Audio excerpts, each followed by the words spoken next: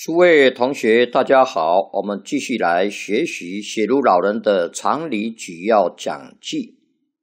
身对众，第一，他人正谈话，不在中间插言。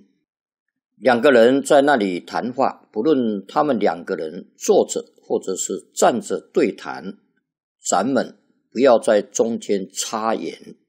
人家的话还没有谈完，咱们不可当着人家的面谈着，这是大毛病。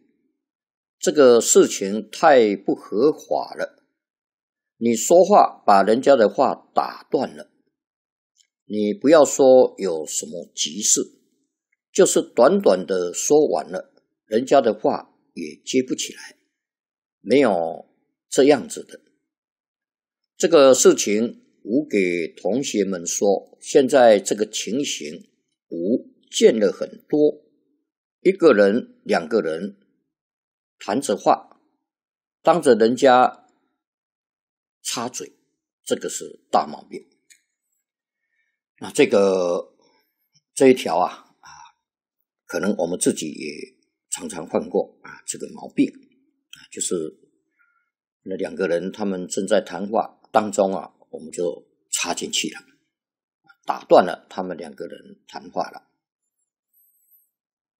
纵然我们讲的短短几句，那总是打断了，可能他们两个刚才谈到哪里，一时又接不下去了，所以这个也是对人也不礼貌。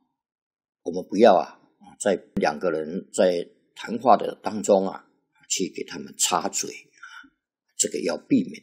所以。这一条啊，他人正谈话，正在谈话，我们不在他们还没有谈完的当中啊，去插言啊，这个要避免。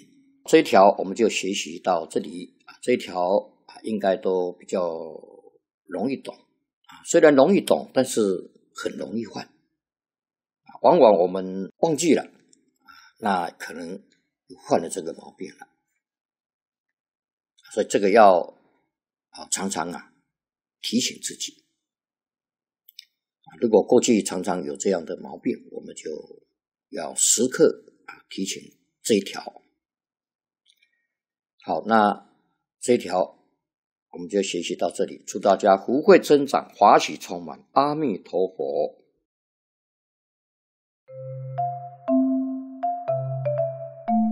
如果喜欢我们的影片。欢迎订阅频道，开启小铃铛，也可以扫上方的 Q R code，就能收到最新影片通知哦。